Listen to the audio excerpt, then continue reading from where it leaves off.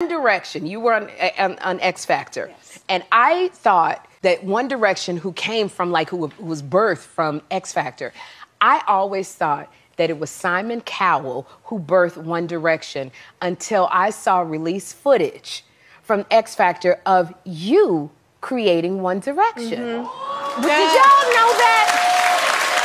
Nicole Scherzinger.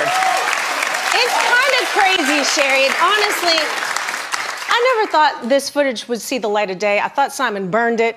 Yeah. and it's really cool that it came out. Look, I just came out of a girl group. I know how successful Mm-hmm. and how powerful it can be to be a group. We've got to join forces and and it's it's amazing to think like we didn't have anything at that time. So I'm super proud that I got to be play a a small part or a big part still waiting. No, you played a big part. Simon So- Cowell, you ought to be ashamed of yourself.